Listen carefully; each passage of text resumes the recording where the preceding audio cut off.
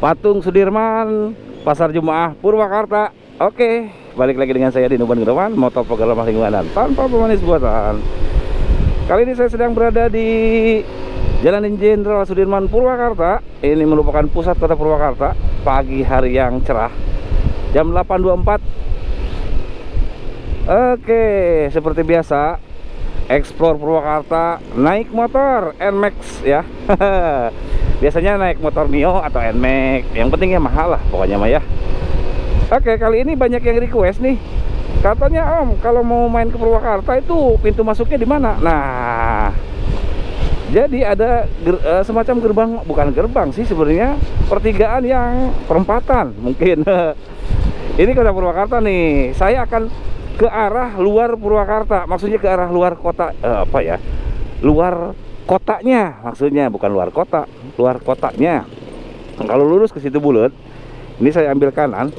Saya mengarah ke arah Bandung nih ya. Jadi sebaliknya kalau mau masuk ke Purwakarta berarti tinggal sebaliknya ya.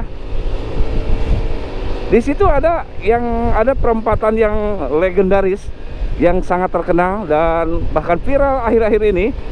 Perempatan Comro atau Parcom ya Nah, di mana itu Parcom? Ini saya dari arah pusat kota menuju tadi Jalan Jenderal Sudirman, sekarang sudah Jalan RE Marta Dinata atau Jalan Tengah kalau orang Purwakarta menyebutnya ya. Ini sebelah kanan alun-alun atau Pemda Purwakarta. Bisa ke situ, ke Ahmad Yani bisa. Nah, kalau ke kiri, tadi kan lur, uh, ke kiri tadi situ bulat. Ke kiri sini juga situ bulat nih. Ini bener-bener tengah-tengah kota Purwakarta. Aila Purwakarta. Tuh ini situ Bulun sebelah kiri. Sebelah kanan ini Pemda kantor Bupati. Nah Purwakarta istimewa ya. Kilometer nolnya ada di sini nih. Nah ini sebelah kanan nih. Mana ya? Nah itu tuh. Kil kilometer nol. Purwakarta. Oke. Sekarang kita lanjutin ke arah Parcom atau perapatan Combro. Jadi kalau dari arah luar kota keluar tol kalau naik mobil tuh nah keluar tol gerbang tol Jatiluhur ya. Atau mungkin naik motor naik mobil juga bisa dari arah mana itu ya? Dari arah Bandung. Dari arah selatan atau mana itu teh? Kalau ke kiri ke arah Wanayasa ke Pasarbo kita ambil kanan. Lupa saya tuh nyalain lampu sen. Ini masuk kita jalan Basuki Rahmat ternyata banyak yang sering lewat tapi nggak tahu katanya. Parcom itu sebelah mana? Padahal dia apa buat yang ke Purwakarta itu pasti lewat Parcom ya. Pasti lewat Parcom. Karena Parcom itu menurut saya pintu masuknya ya kan? Pintu masuk ke kota Purwakarta itu perapatan Combro atau Parcom ya. Ada yang bacanya perapatan Kombro ah, bukan Kombro Combro. Ah makanan? Saya nggak tahu tuh. Apakah dulunya di situ tempat jualan combro atau apa gitu ya. Combro itu yang makanan yang dalamnya ada oncom. Oncom bro combro itu oncom di jeruk. Nah apa tuh dari singkong atau dari apa gitu ya yang dihaluskan? Lalu di dalamnya ada ini ada oncomnya. Pakai ini biasanya pedes.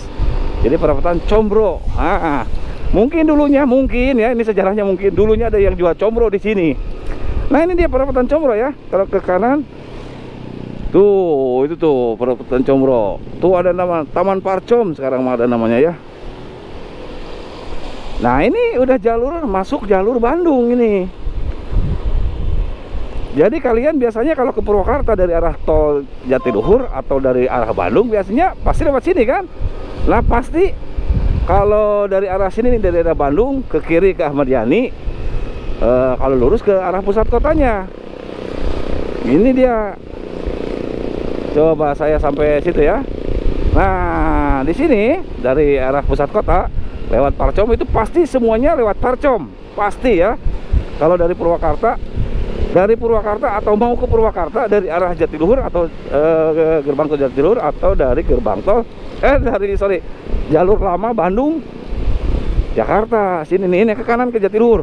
Wow, udah banyak umbul-umbul lagi sekarang. Udah banyak spanduk calon bupati ya Nah ini udah khas nih nggak enak nggak enak kalau udah ada mobil truk di depan teh nggak enak viewnya jadi nggak enak Tuh kan? Ini fenomenal sekali. Ini turunan Ciganea ini berbahaya sekali di sini ya. Banyak sekali nih yang celaka di sini karena dari arah Sukajaya itu ke sini tuh turunan terus sehingga mobil-mobil truk itu suka ini. Bahkan di sini di sesak besi pernah terjadi kecelakaan beruntun ya. Mobil bus Prima Jasa waktu itu nabrak motor, angkot, mobil. Wah. Sini nih. Nah, ini biasanya kalau turun bis di sini dari luar kota ya. Pokoknya yang ke arah Ciganea aja di sini. Nah, ke kanan ke gerbang tol Ciganea atau Jatiluhur ya. Jadi dari luar kota cari bis yang ke eh, ini aja ke gerbang tol Jatiluhur. Gerbang tol Sadang juga bisa, lebih dekat ke gerbang tol Jatiluhur ya. Nah, kalau ini ini mah jalurnya jalur ke Bandung, jalur tempat saya kerja.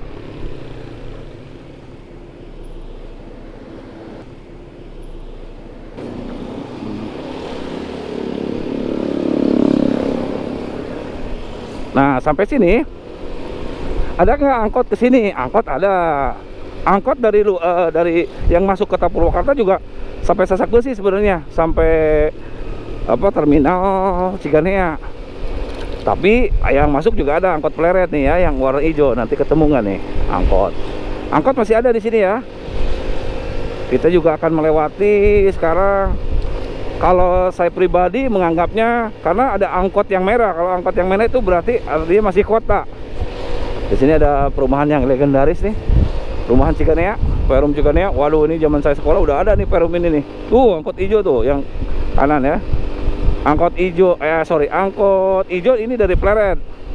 Atau sebaliknya ini juga merupakan jalur menuju eh, Kampung Merangi Pleret ya. Mungkin dari luar kota mau ke mana? Wisata ke Cirata. Atau mau ke Kampung Marangi Pleret. Atau nyari keramik di Anjun atau nyari puyeng bendul ini arahnya ke sini. Nggak ngelewatin Parcom. Tadi dari gerbang tol ke kanan ya. Ke Cikaupak ke sini ke Cikaupak nih. Ini tandanya ada gonggo kereta atau jembatan kereta api nih ya Bandung Jakarta. Di depan ada perum bukit berbunga. Angkot merah sampai sini nih. Padahal sayang ya angkot merah harusnya harus nyampe ke ini. Ke Cikaupak aja sekaligus. Aduh si bapak kagok deh pelan-pelan banget ini si bapak nyalipnya nih. Nah ini perum bukit berbunga ke kanan. Nah angkot tuh sampai sini biasanya. Oh mau ke kanan. Aduh aduh aduh aduh aduh, aduh, aduh. nah itu paling ya. Oke? Terima kasih sudah nonton. Jangan lupa subscribe. And bye-bye.